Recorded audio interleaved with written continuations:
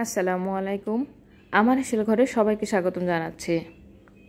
মুখে যখন খাবার একদম রুচি থাকবে না, একটু অন্যরকম কিছু খেতে চাইবেন, তখনই আজকে যে ভর্তাটা দেখাচ্ছি, সেটা করে খেতে পারেন।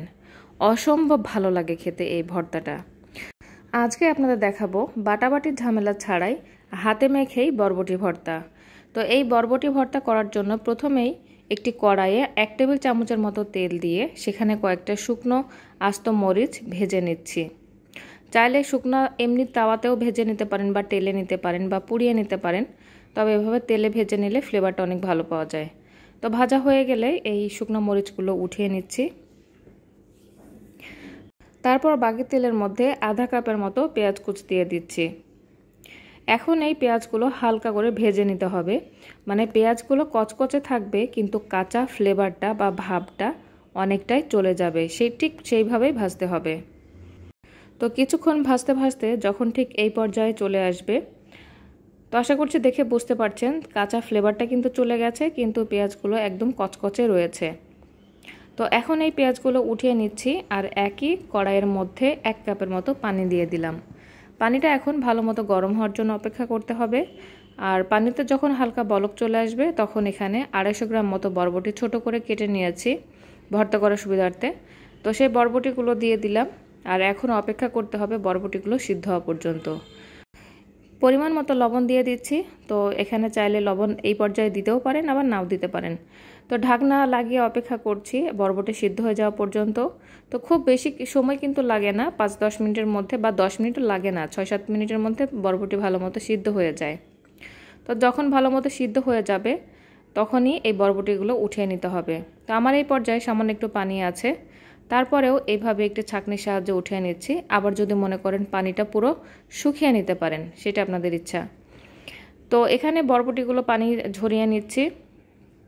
আর এভাবেই এই ছাঁকনিতে করে রেখে দেবো যতক্ষণ না হাতে মাখা মানে হাতে সহ্য হওয়া পর্যন্ত ঠান্ডা হয়ে আসে। ততক্ষণে এক্সট্রা পানিটাও ঝরে যাবে। তারপর অন্য একটি বাটিতে প্রথমে শুকনো মরিচগুলো নিয়ে নিচ্ছি। তার সাথে সামান্য একটু লবণ দিয়ে একটু ডোলে ভেঙে নিতে হবে। তো আমার এই শুকনো মরিচগুলো একটু বাতাসে ছিল, এজন্য সামান্য একটু নরম হয়ে গেছে, যে কারণে ঠিকমতো ভাঙতে চাচ্ছে না।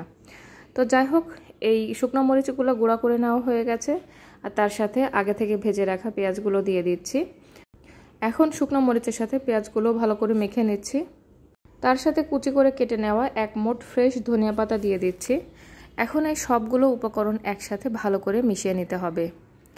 তো এই ভর্তাটার টেস্ট কিন্তু ধনিয়া পাতা আর যেভাবে আমি পেঁয়াজ ভেজে নিয়েছি, তো এই দুইটার উপরেই কিন্তু বেশি টেস্টের নির্ভর করে। সব কিছু মেশানো হয়ে গেলে বরবটিগুলো দিয়ে দিচ্ছি। এখন হাত দিয়ে ভালো মতো ডোলে বা চটকে বরবটিগুলো এভাবে একটু ডলে নিতে হবে। তো দেখতেই পাচ্ছেন কত সুন্দরভাবে ভর্তা করা হয়ে যাচ্ছে। তো এজন্যই এই ভর্তা বেটে নেওয়ার কোনো দরকার নেই, বরং আমার কাছে এভাবে হাতে মেখে ভর্তা করলেই বরবটির ভর্তা খেতে বেশি টেস্ট লাগে। এই পর্যায়ে এক টেবিল চামচের মতো সরিষার তেল দিয়ে দিচ্ছি, তারপরে আবারও সব কিছু একসাথে ভালো মতো মিশিয়ে নিচ্ছি। তো এই ভর্তাটা খেতে কিন্তু অসম্ভব ভালো লাগে গরম ভাতের সাথে।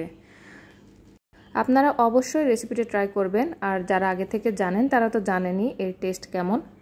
তো আশা করছি আজকের ভিডিওটা খুব ভালো লেগেছে। আর অসম্ভব মজার এই ভর্তাটা আপনাদের কেমন লাগে অবশ্যই কমেন্টস করে জানাবেন।